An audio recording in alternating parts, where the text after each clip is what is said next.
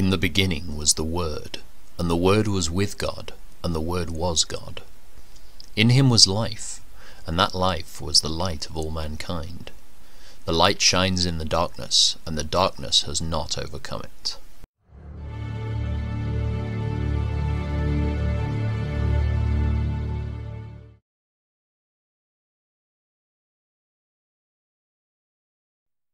A good reputation is more valuable than costly perfume, and the day you die is better than the day you are born. Better to spend your time at funerals than at parties. After all, everyone dies, so the living should take this to heart. Sorrow is better than laughter, for sadness has a refining influence on us. A wise person thinks a lot about death, while a fool thinks only about having a good time. Better to be criticized by a wise person than to be praised by a fool. A fool's laughter is quickly gone, like thorns crackling in a fire. This also is meaningless. Extortion turns wise people into fools, and bribes corrupt the heart. Finishing is better than starting. Patience is better than pride. Control your temper, for anger labels you a fool. Don't long for the good old days. This is not wise. Wisdom is even better when you have money. Both are a benefit as you go through life. Wisdom and money can get you almost anything, but only wisdom can save your life. Accept the way God does things, for who can straighten what he has made crooked? Enjoy prosperity while you can, but when hard times strike, realize that both come from God. Remember that nothing is certain in this life. I have seen everything in this meaningless life, including the death of good young people and the long life of wicked people. So don't be too good or too wise. Why destroy yourself? On the other hand, don't be too wicked either. Don't be a fool. Why die before your time? Pay attention to these instructions, for anyone who fears God will avoid both extremes. One wise person is stronger than ten leading citizens of a town. Not a single person on earth is always good and never sins. Don't eavesdrop on others. You may hear your servant curse you, for you know how often you yourself have cursed others. I have always tried my best to let wisdom guide my thoughts and actions. I said to myself, I am determined to be wise, but it didn't work. Wisdom is always distant and difficult to find. I searched everywhere, determined to find wisdom and to understand the reason for things. I was determined to prove myself that wickedness is stupid and that foolishness is madness. I discovered that a seductive woman is a trap more bitter than death. Her passion is a snare, and her soft hands are chains. Those who are pleasing to God will escape her, but sinners will be caught in her snare. This is my conclusion, says the teacher. I discovered this after looking at the matter from every possible angle. Though I have searched repeatedly, I have not found what I was looking for. Only one out of a thousand men is virtuous, but not one woman. But I did find this. God created people to be virtuous, but they have each turned to follow their own downward path. How wonderful to be wise, to analyze and interpret things. Wisdom lights up a person's face, softening its harshness. Obey the king since you vowed to God that you would. Don't try to avoid doing your duty, and don't stand with those who plot evil, for the king can do whatever he wants. His command is backed by great power. No one can resist or question it. Those who obey him will not be punished. Those who are wise will find a time and a way to do what is right for there is a time and a way for everything, even when a person is in trouble. Indeed, how can people avoid what they don't know is going to happen? None of us can hold back our spirit from departing. None of us has the power to prevent the day of our death. There is no escaping that obligation, that dark battle. And in the face of death, wickedness will certainly not rescue the wicked. I have thought deeply about all that goes on here under the sun where people have the power to hurt each other. I have seen wicked people buried with honor. Yet they were the very ones who frequented the temple and are now praised in the same city where they committed their crimes. This too is meaningless. When a crime is not punished quickly, people feel it is safe to do wrong.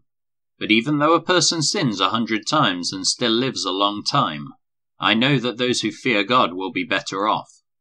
The wicked will not prosper, for they do not fear God their days will never grow long like the evening shadows. And this is not all that is meaningless in our world. In this life, good people are often treated as though they were wicked, and wicked people are often treated as though they were good. This is so meaningless. So I recommend having fun, because there is nothing better for people in this world than to eat, drink, and enjoy life. That way they will experience some happiness along with all the hard work God gives them under the sun.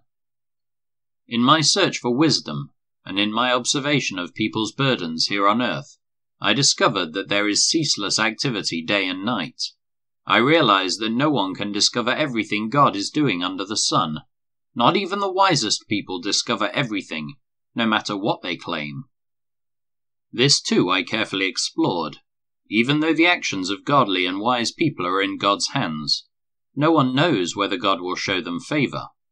The same destiny ultimately awaits everyone, whether righteous or wicked, good or bad, ceremonially clean or unclean, religious or irreligious.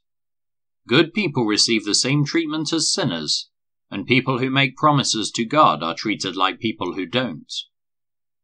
It seems so tragic that everyone under the sun suffers the same fate. That is why people are not more careful to be good. Instead, they choose their own mad course, for they have no hope.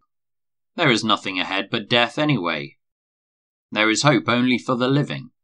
As they say, better to be a live dog than a dead lion. The living at least know they will die, but the dead know nothing. They have no further reward, nor are they remembered.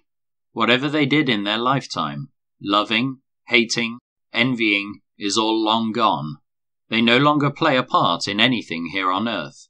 So go ahead, eat your food with joy and drink your wine with a happy heart, for God approves of this. Wear fine clothes with a splash of cologne.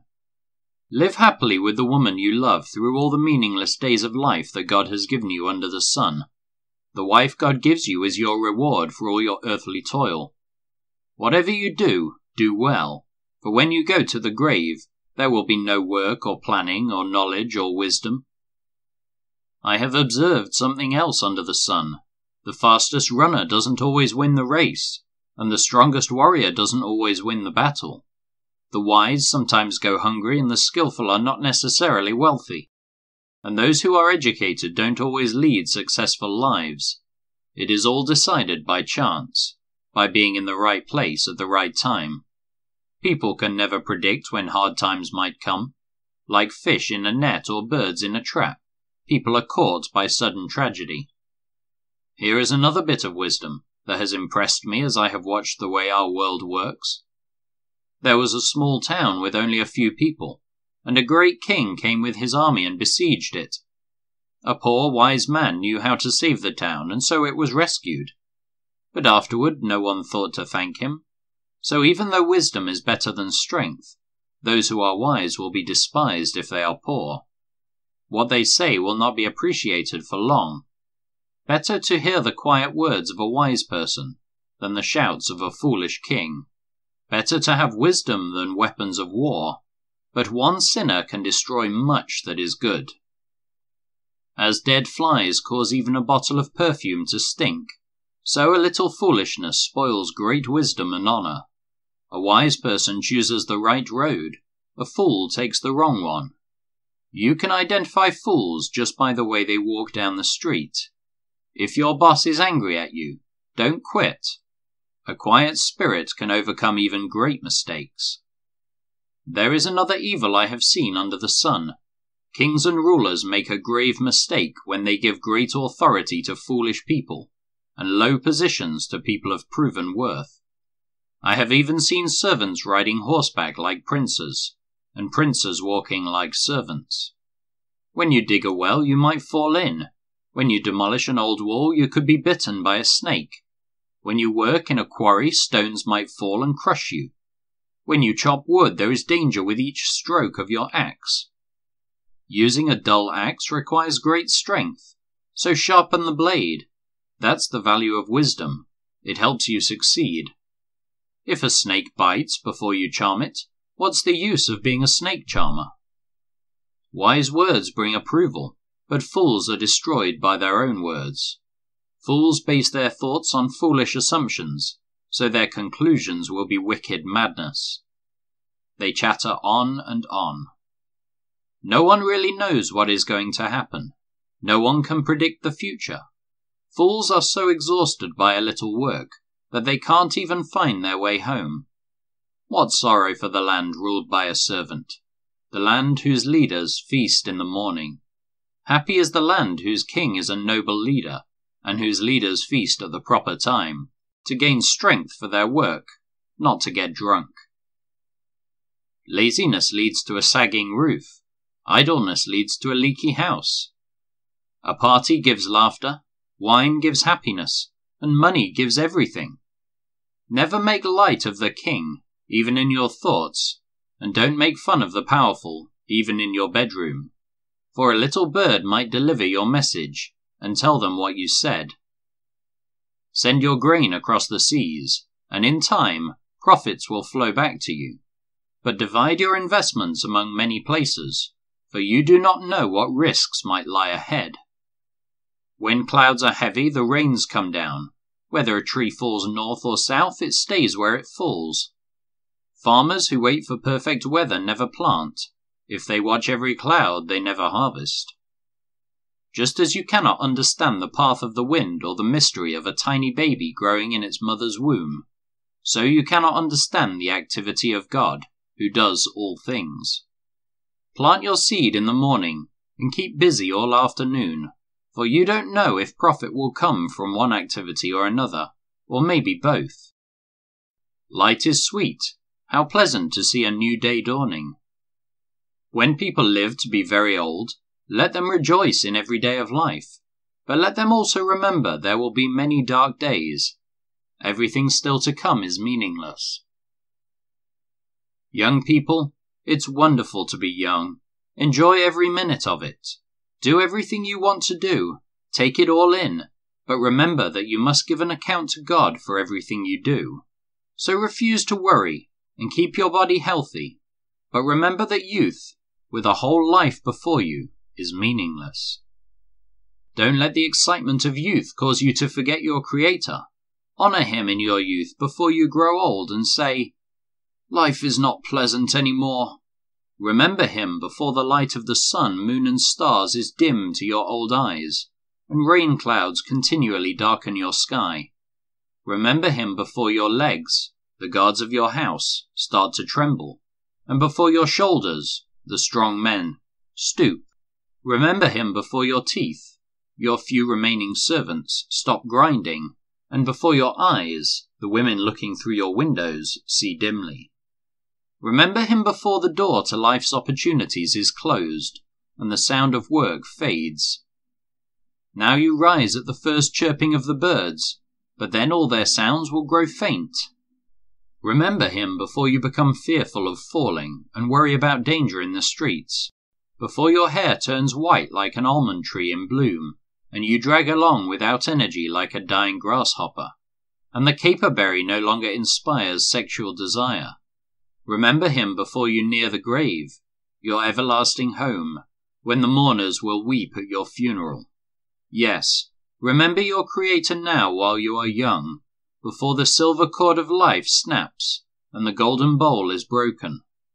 Don't wait until the water jar is smashed at the spring and the pulley is broken at the well, for then the dust will return to the earth, and the spirit will return to God who gave it. Everything is meaningless, says the teacher. Completely meaningless. Keep this in mind. The teacher was considered wise, and he taught the people everything he knew. He listened carefully to many proverbs, studying and classifying them. The teacher sought to find just the right words to express truths clearly. The words of the wise are like cattle prods, painful but helpful. Their collected sayings are like a nail studded stick with which a shepherd drives the sheep. But, my child, let me give you some further advice. Be careful, for writing books is endless, and much study wears you out. That's the whole story. Here now is my final conclusion. Fear God and obey his commands, for this is everyone's duty. God will judge us for everything we do, including every secret thing, whether good or bad.